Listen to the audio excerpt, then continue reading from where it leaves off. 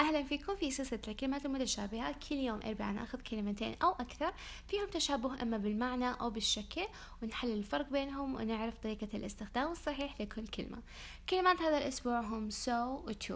كل الاثنين معناتهم جدا زي very. مثلا لما نقول so beautiful uh, too beautiful very beautiful. الفرق فيهم هو المعنى. لما نتكلم عن شيء بسو uh, في uh, positive connotation أو في إيجابي. مثلا لما نقول عن وحدة she is so beautiful يعني هذه البنت جميلة جدا. لما نقول عن وحدة she is too beautiful يعني هي جميلة بزيادة ممكن ما تنفعها.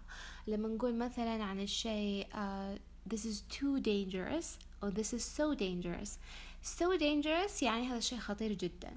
أما لما نقول عن شيء this is too dangerous يعني هذا مرة خطير بشكل بشكل كبير. يعني هذا الشيء أبدا مو كويس.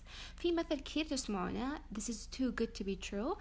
too good to be true يعني هذا الشيء من كثر ما هو كويس آه، أكيد إنه مو بصدقي. مثلا لو أحد يجي وظيفة مرة كويسة أو يجي مثلا مبلغ مال كبير أو يجي أو يجي مثلا خبر حلو يقول this is too good to be true يعني آه، من كثر ما الخبر مميز وكويس أحس إنه مو بصدقي.